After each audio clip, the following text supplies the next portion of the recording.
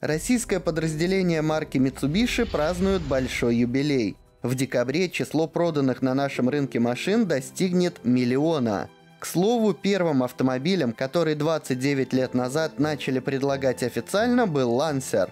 Он же признан самым успешным. За все время своих владельцев нашли без малого 300 тысяч машин. Далее с минимальным отрывом следует модель Outlander, которая вскоре очевидно получит статус абсолютного бестселлера. Сегодня статус самого продаваемого Mitsubishi носит именно Outlander. Его японцы выпускают на собственном заводе под Калугой, который был запущен ровно 10 лет назад. Там же делают рамные внедорожники Pajero Sport.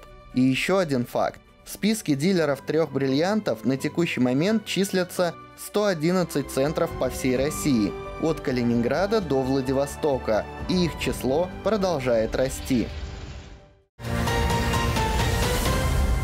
И продолжая тему японского автопрома, тем более, что название Мицуока отчасти созвучно бренду Mitsubishi.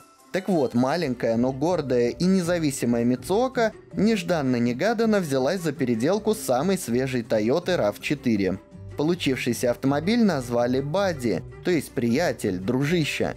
Это первый кроссовер Мицуоки, который вдобавок ностальгирует по внедорожникам Chevrolet K5 40-летней давности – до этого дизайнеры марки предпочитали вдохновляться британской классикой. Под старые американские рамники стилизованы передние и задние части кузова, но боковины остались чисто тойотовскими.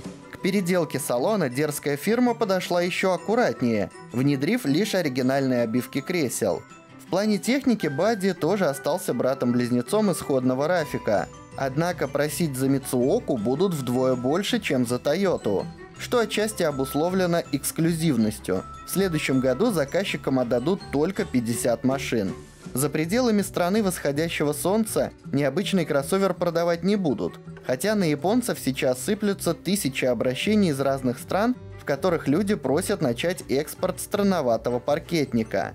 Впрочем, при всем желании мощностей Мицуоки не хватит, чтобы покрыть этот спрос, Второй момент чисто юридический. Вряд ли Toyota захочет, чтобы переделанные RAV4 появились где-то еще, кроме родной Японии.